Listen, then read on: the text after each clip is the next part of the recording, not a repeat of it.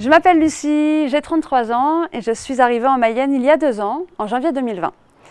Avant ça, j'étais photographe euh, durant 10 ans sur la région nantaise et aujourd'hui je suis en projet de reconversion professionnelle. Je souhaite m'installer en production horticole euh, en plantes succulentes sur un terrain à Houssé, en Mayenne.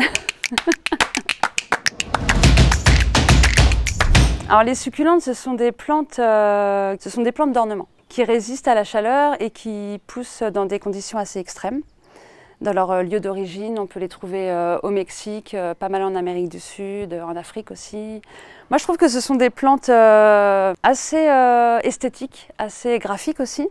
Il existe des milliers d'espèces différentes. Elles sont assez peu connues en France encore. Il y a très peu de producteurs français installés.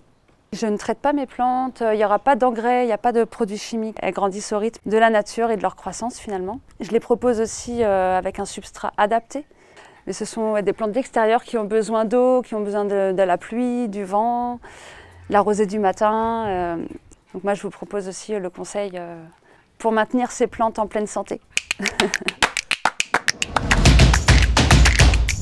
Alors c'est une formation qui dure un an. Donc il se déroule sous forme de stage et euh, on est accompagné par la SIAP. Donc la SIAP, c'est une coopérative euh, d'installation dans l'agriculture paysanne.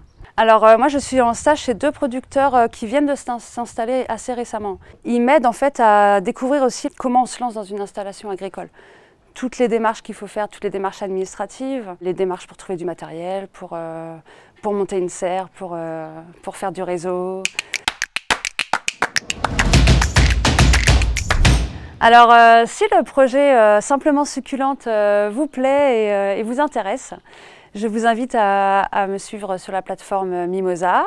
N'hésitez pas à partager, à participer, à en parler autour de vous. Et sinon, je vous dis à très bientôt sur les marchés l'année prochaine, à partir du printemps 2023.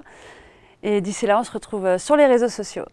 Merci beaucoup et à bientôt